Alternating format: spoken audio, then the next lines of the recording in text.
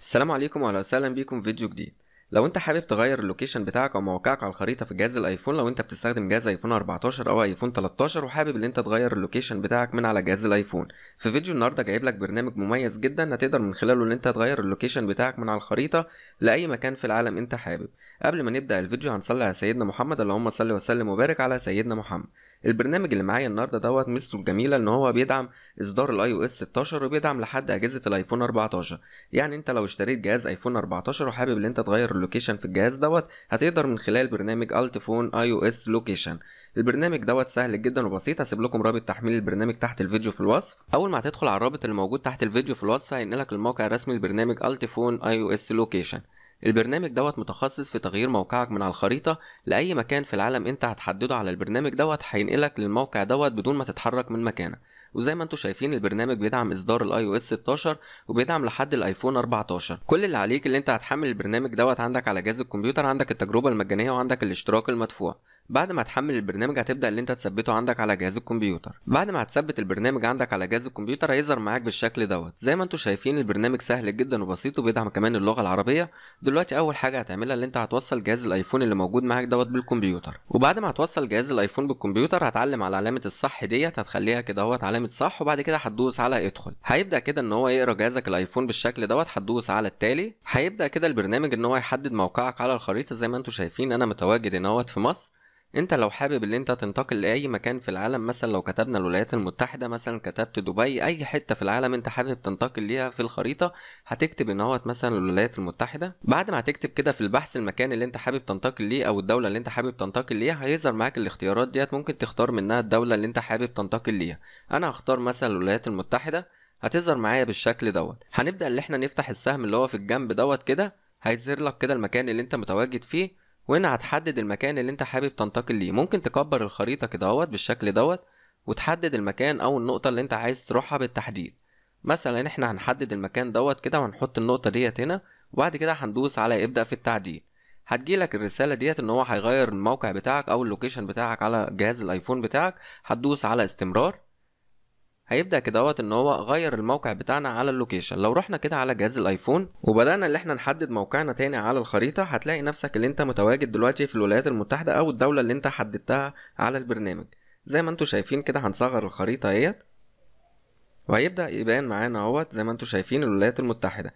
إحنا دلوقتي هنا على ال location موجودين في الولايات المتحدة. تقدر ان انت تشارك الموقع بتاعك دوت على اي تطبيق مثلا زي تطبيق الواتساب أو الفيسبوك أو الانستجرام اي تطبيق انت حابب ان انت تعمل مشاركة للموقع بتاعك هتقدر ان انت تعمل مشاركة. كل اللي عليك هتدوس على النقطة ديت كده وبعد كده هتدوس على مشاركة.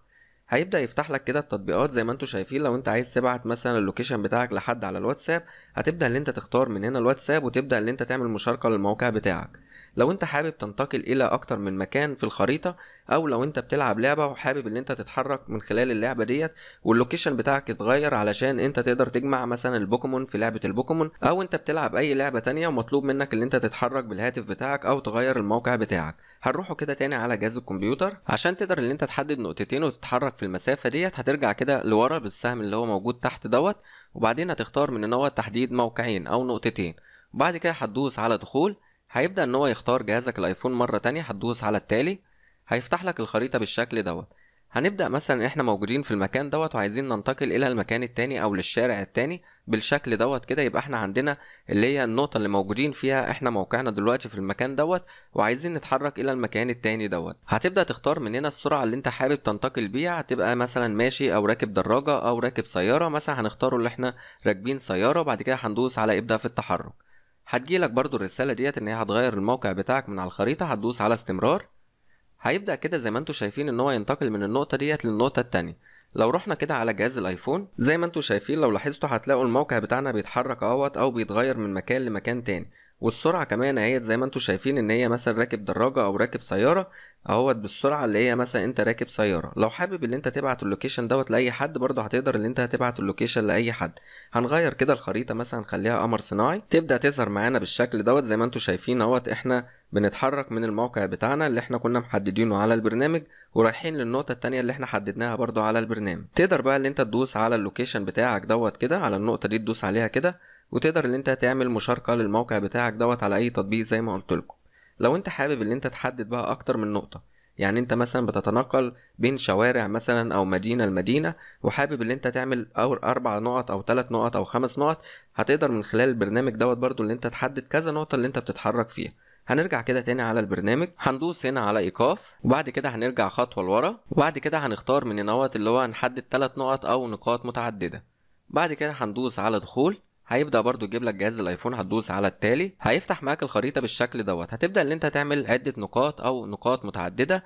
مثلا هنعمل النقطة الأولى هنا أهوت وبعدين النقطة الثانية وبعدين النقطة الثالثه زي ما أنت حابب بقى خمس نقط ست نقط زي ما أنت عايز. هتقدر إن أنت تحدد النقط ديت زي ما أنتوا شايفين أهوت بالشكل دوت كده.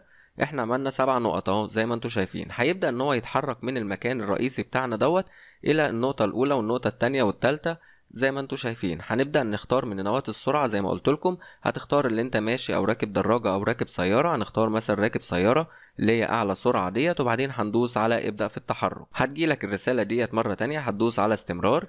هيبدأ إن هو يغير ال location بتاعك على أساس إن أنت ماشي وبتتنقل من شارع لشارع أو من مكان لمكان تاني.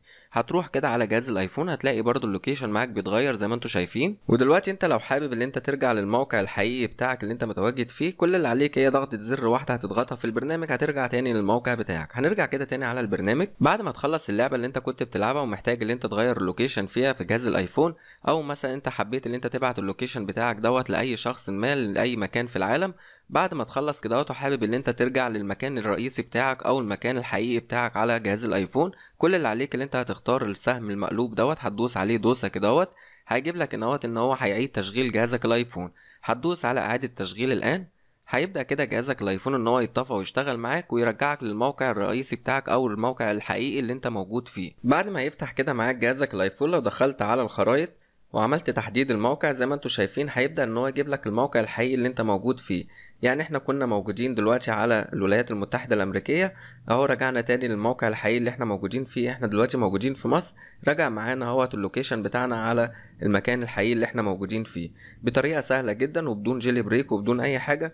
انت بس هتوصل جهازك الآيفون بالكمبيوتر هتفتح البرنامج دوت هينقل ال location بتاعك لأي مكان في العالم انت حابب تنتقل ليه. برنامج سهل جدا وبسيط حبيت ان أنا أشرحه لكم. هسيب لكم رابط تحميل البرنامج تحت الفيديو في الوصف. ولو عجبك الفيديو واستفدت منه يا ريت تدعمنا بلايك وتشترك في القناة. وشكرا ليكم وأشوفكم الفيديو الجاي.